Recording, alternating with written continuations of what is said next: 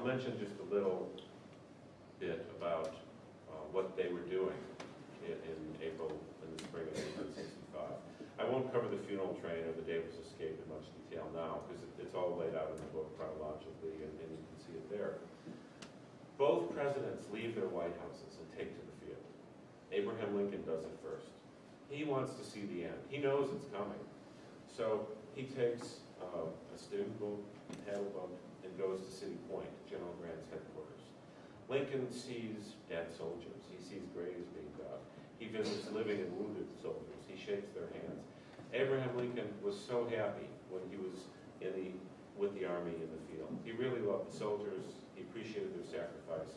Lincoln felt great guilt at sending them into battle to die, and it tortured him throughout the Civil War. He, he did not cavalierly send these men off to battle. Uh, he, he was deeply moved by their sacrifices. And most of the soldiers loved him. They chose him over McClellan when McClellan ran against him in 1864. It's the soldiers who came up with the nickname Father Abraham. And so Lincoln becomes almost a newspaper reporter in the field. He's sending telegrams often back to Stanton at the War Department. Uh, If Lincoln was alive today, he would certainly have an iPhone, he would be addicted to the BlackBerry. Uh, He would go to the War Department telegraph office at various hours of the day and night to seize things right from the operator's hands. He loved the new technologies, either weaponry or communications. He hears guns firing, he meets with the generals. Lincoln is very excited, he has Tad with him. Mary was there for a while. Uh, Then she was returned to the White House, and Lincoln could be alone in the field with his little boy and with the generals. And Jefferson Davis is in his White House, and he knows the end is coming soon, at least the end of Richmond. So he already sends his wife away and children away. He arms her with a pistol. She takes what little money they have, but he won't let her take the food. She wants to go with some wagons of wheat and corn. And Jefferson Davis says, our people are starving. You cannot take food away from the city. They need it. Uh, Buy what you can on the road, but you, you cannot take food. Then on uh, Sunday, April 2nd, he's in church, and the telegram comes from Robert E. Lee, who's been fighting valiantly in the outskirts of Richmond and Petersburg. And the telegram says, the Army of Northern Virginia can't hold out one single day more, not even many more hours, or it'll be utterly destroyed. You, Mr. President, have to flee the capital now. Davis is not certain today's the day. Lee sends more messages, essentially saying, no, I really meant it before. You've got to go. Then another message comes, no, I really meant what I said. You really have to go. Davis writes back, well, we're going to lose valuable property and documents and this and that. And Lee, who liked Davis and got along with him, crumpled up that telegram and said, I am certain that I gave him proper warning. And then he writes and says, Mr. President, I'm sending an officer to Richmond who will lead you out of the city into the safety of my lines. Davis doesn't want to escape that way because he thinks the war is not over. Richmond may be done, but the war is not over. He gathers up the cabinet, he loads documents on a train, they load horses and supplies, and they steam out of Richmond on the night of April 2nd, heading for Danville, 140 miles away, which he declares is the new Confederate capital. Uh, Richmond goes wild that night. It burns. People lap the liquor from the gutters. They go mad. They get drunk. They sack the city. And then the Union comes in. Now, the moment, a couple of my favorite moments I'll mention. Lincoln enters Richmond on April 4th. Stanton warns him, for God's sake, don't do that. You're, you'll be killed. Uh, Stanton says in so many words, you are the president, and you, you have no right to go into Richmond. Uh, Generals can die, troops can die, you cannot sacrifice yourself. Lincoln goes there with Tad, 12 sailors and Marines, and a couple of officers.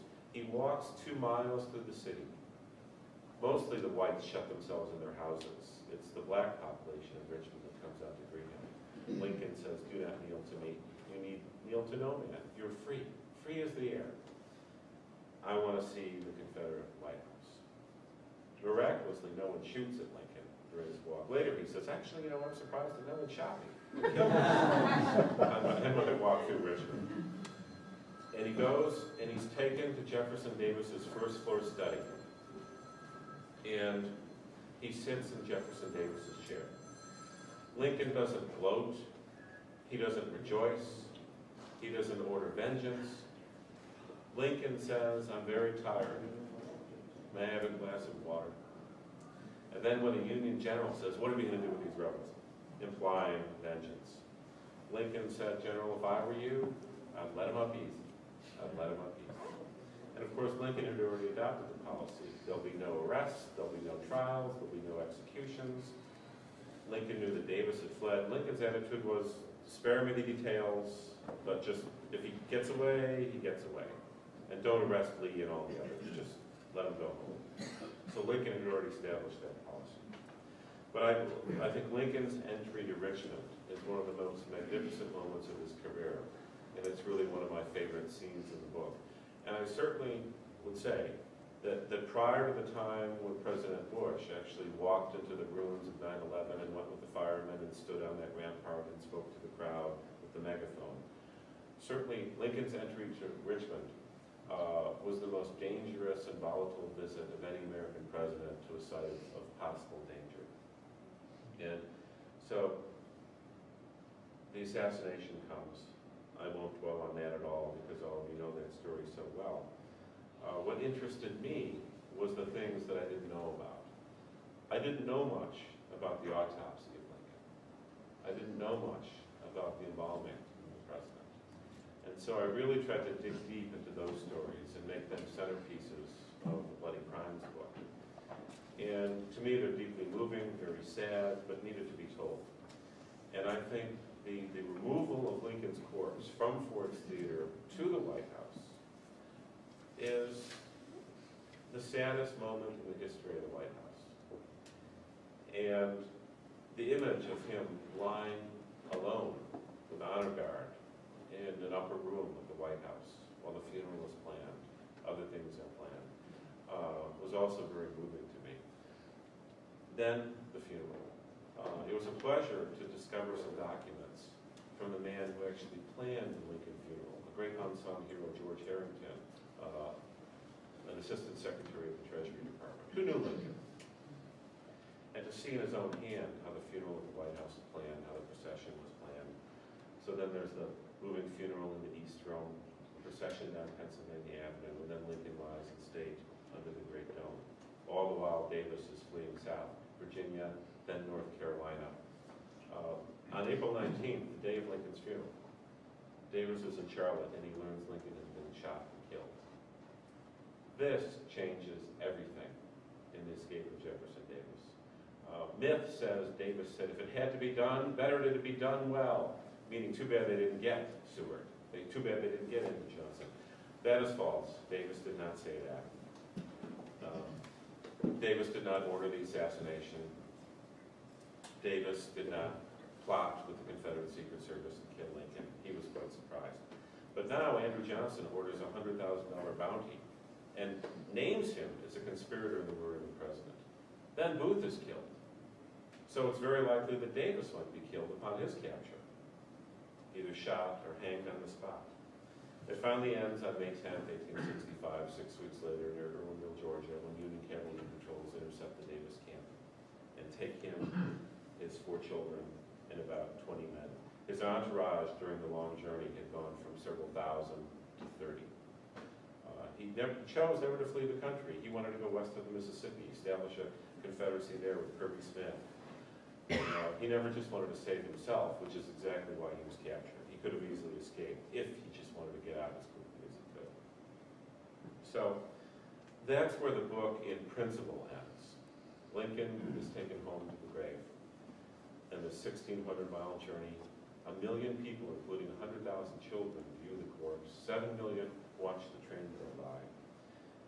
And I think that it's the saddest national moment in our history because it was just not Abraham Lincoln going home in that train. Many northern men had never come home after being killed in battle or dying of disease. And I think the American people felt that on that train coming home with Abraham was every father, every son, every brother, every lover, every male relative who had been lost in that war was somehow symbolically coming home with Father Abraham. And I want to quote just briefly on how Walt Whitman sensed that that's what was happening. the great poet of the Civil War, and I think the greatest American poet. And that's why uh, Aaron and our friends at the Soldiers Home were kind enough to bring these lilacs tonight uh, as a symbolic proof of just a few sentences I want to read to you to make this point. Whitman wrote, When lilacs last in the dooryard bloom, and the great star early dropped into the western sky in the night, I mourned, and yet shall mourn with ever-returning spring. O ever-returning spring, Trinity sure to me you bring, lilac blooming perennial, and drooping star of the west, and thought of him I love. O powerful western fallen star, O shades of night, O moody tearful night. I want to interrupt for a moment and mention that powerful western fallen star. In 1861, after Lincoln was elected, people came out with posters and, and decorated letters and envelopes that called Lincoln the Star of the West, or the Comet of 1861. So that comet of 1861 is now the powerful western falling star. And here's where Whitman mentions the funeral train. Coffin that passes through lanes and streets with the tolling bells perpetual clang. Here, coffin that slowly passes. I give you my sprig of lilac. Now here's the line. Not for you, Abraham Lincoln, for one alone. Blossoms and branches green to coffins all I bring. And I think Whitman was perceptive to understand that's what the Lincoln funeral was really about. It was a mass national funeral for everyone in the North. Lincoln is in his grave. Davis is in his prison cell.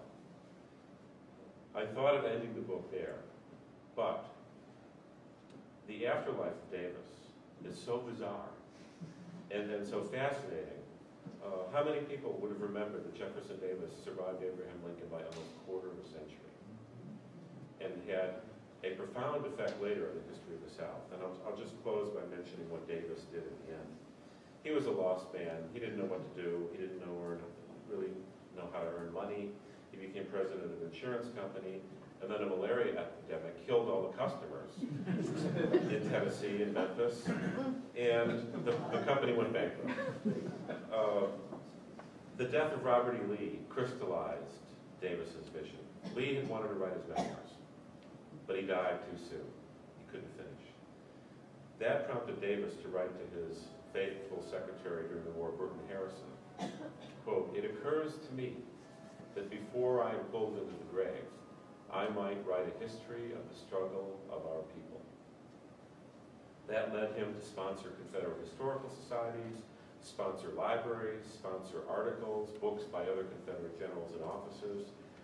And simultaneous with that moment of historical research, where the Confederates thought, we may have lost the war on the battlefield, but we're not going to lose it in the books. We're going to write about how great we are, how we should have won. We're going to write about how we were and still are the superior civilization. The, the emergence of the concept of the Confederate dead occurs. And that would be spelled then with a capital C, a capital D. The idea was that this lost army of dead Confederate men and boys, 240,000, was gone, but somehow hovering or watching over the South. And that honors had to be rendered to them, and they had to be remembered. The women uh, of the South uh, pursued the cemetery movement, the memorial movement. And Jefferson Davis, in time, came to be seen as the medium between the Confederate living and the Confederate dead. And because of his honorable behavior in prison, because the South knew he didn't try to save his own skin at the end, he became a greater hero to the Southern people in the aftermath of the Civil War than he had ever been as president of the Confederacy, than he had ever been before the Civil War was fought. Near the end, he thinks his life is soon over. He's, in, he's 79, and he gets a little invitation to speak in Alabama at the monument to the war dead. And there, Jefferson Davis gives what I think is the most important speech he ever gave in his life. And this really helps cement the myth of the legend of the lost cause. And its importance cannot be underestimated. And I'll just quote briefly from the speech of Jefferson Davis. He's a little surprised that thousands of people seem to be gathering on the way on his railroad journey. Uh, when he gets to, to town, there are thousands of people waiting for him. And he says to them, You've passed the terrible ordeal of a war which Alabama did not seek, a holy war. Well do I remember seeing your gentle boys, so small, to use a farmer's phrase. They might have been called the seed corn, moving on with eager step and fearless brow to the carnival of death. And I've also looked upon them when their knapsacks and muskets seemed heavier than the boys. And my eyes, partaking of a mother's weakness, filled with tears. Those days have passed. Many of them have found nameless graves. Now that image of the seed corn, of the southern youth that, that never reached maturity, was already on the verge of getting his audience to, to surrender to its emotions. Then Davis uttered the words that forevermore united the present and the past of this dream of the lost cause. So he says, but they are not dead. They live in memory, and their spirits stand out in great reserve in that column which is marching on with unfaltering step towards our goal of constitutional liberty. I am now standing very nearly on the spot where I took the oath of office in 1861. Your demonstration now exceeds that which welcomed me then. The spirit of Southern liberty is not dead. Then you were full of joyous hope, with a full prospect of achieving all you desired and now you are wrapped in the mantle of regret. I've been promised, my friends, that I should not be called upon to make a speech, and therefore I will only extend my heartfelt thanks. God bless you, one and all, men and boys, and ladies above all others, who never faltered in our direst need. Then he sat down. Then the newspaper reporters from New York City, Atlanta, elsewhere said the crowd burst forth into a roar that they had never heard before in their lives. Hmm. Some of the reporters said, Dixie is aflame, and no one knows where this will end. Davis went on to give more speeches in two other cities. In one town, 5,000 Confederates came to greet him, and they were told, now don't touch him, don't run up to him, you're going to kill him. He's old and frail. And they essentially, they disobeyed all orders and recreated Pickett's charge and stormed the house. They wave a Confederate battle flag, and Davis grasps it in his hands and says, I am like this old tattered flag. I'm so happy to be among you. And they go wild. Varina says, you've got to stop meeting these Confederate veterans because they're going to be the death of you.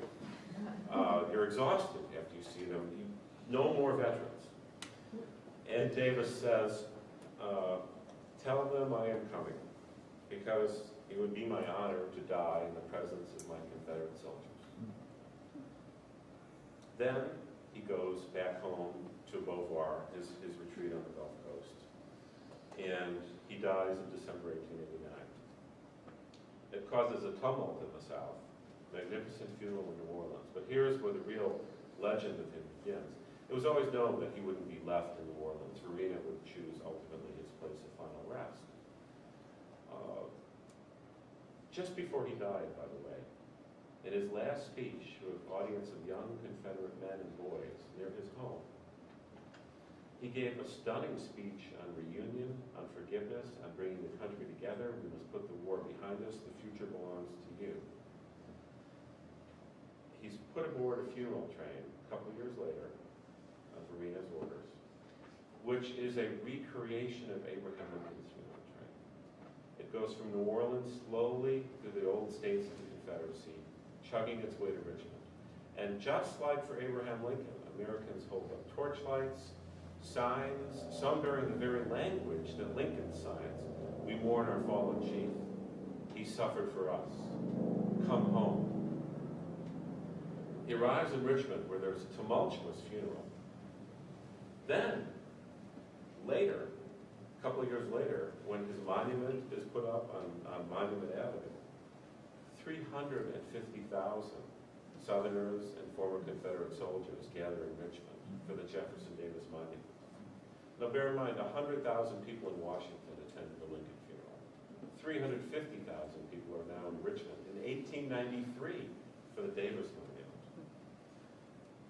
3,000 school children, like a scene out of ancient Egypt, pull the sculpture forward on 700-foot long ropes and, and, and honor the, the sculpture. Uh, on that day, Jefferson Davis's followers thought his name would live forever history as a great American alongside the name of Abraham Lincoln. But as it turned out, the 20th century came to belong to Abraham Lincoln and not Jefferson Davis. And the, the building of the Lincoln Memorial eclipsed Davis. The northern interpretation of the war certainly eclipsed Davis's interpretation of the war. And so now, as we celebrate the 150th anniversary, or I should say commemorate the 150th anniversary of the Civil War, uh, Davis has become what I think this forgotten, this forgotten man. I began this book as a Lincoln man, and I end the book as a Lincoln man. But this journey with Jefferson Davis has been fascinating to me. And I think no one can say, prior to 1861, Jefferson Davis, no one can say that he was not a great American hero prior to 1861. There is, of course, the stain of slavery, which will never leave him, or the Southern cause. But you can't not study Jefferson Davis because of slavery, because then you can't study George Washington. You can't study the founders. You can't study a number of presidents, nor can we study the man who I believe, much more than Davis, is the single greatest hypocrite in American public life, that of course being Thomas Jefferson. Jefferson, the man who forever espoused the rights of man, liberty, freedom, the greatest ideals of Western civilization, spouted those ideals on the backs of the labor of his slaves. And, and so, uh, certainly, this is interesting, and I'll close with this. Gerrit Smith, the great abolitionist, and a funder of the Secret Six, or one of the Secret Six who, who paid for John Brown's raid at Harper's Ferry, contributed to the $150,000 bail to free Jefferson Davis from captivity after two years. His supporters said, are you insane?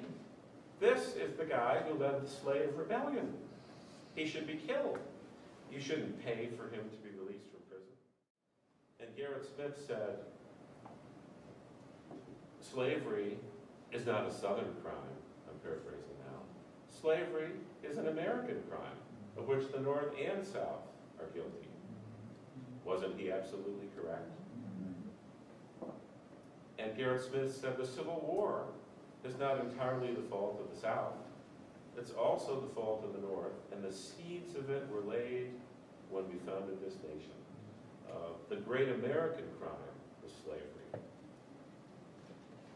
All the nation was guilty for this. And so that, that was this great abolitionist view of, of uh, the meaning of Davis, the meaning of the Civil War, the meaning of the South. So I certainly think as we begin these 150th anniversary commemorations, we need to study Jefferson Davis and Abraham Lincoln. We need to study the women of the war of North and South, and not just the men who fought the war. We certainly need to study vigorously the slaves, the freedmen, and the 200,000 black men who joined the Union Army and fought bravely for their liberty and the liberty of their people. And we need to study the Confederacy and the Union. And so I don't think any topic should be off limits. There should be no shame in celebrating our ancestors, whether, from, whether they are from North or South. Uh, I think we as a nation should join and remember the Civil War and all its multiple meanings. And certainly remember at the end that Abraham Lincoln was certainly the greatest president in American history. And in addition, I think one of the greatest of all Americans who ever lived. And so I just close by saying I can think of no greater honor than to remember Abraham Lincoln on this sad night at a place that brought him much joy. Thank you very much.